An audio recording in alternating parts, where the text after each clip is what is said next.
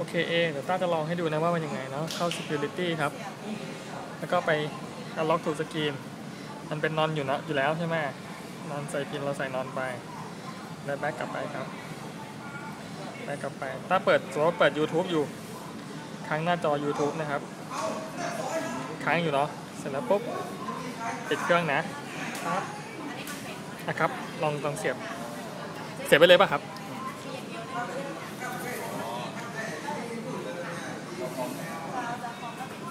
เนี่ยเห็นป่ะพอเสียบปุ๊บไฟเห็นป่ะหน้าจอก็จะแอคทีฟขึ้นมา แต่ถ้าผมปิดก็ปิดได้เลย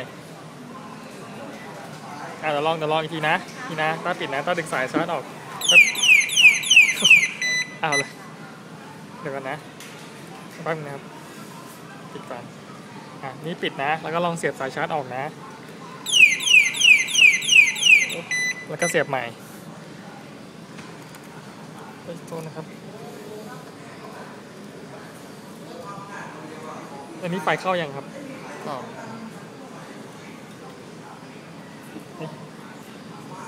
งั้นลองลองลองเสียบตรงนี้ใหม่เข้ากันนะครับอ้าวไม่ได้ใช่อย่างงั้นอะผมลองเสียบใหม่นะอุ๊ยเนี่ยมันจะเข้าเข้าออกประมาณเนี้ยเองอ่าฮะประมาณนี้โอเคขอขอบคุณมากครับ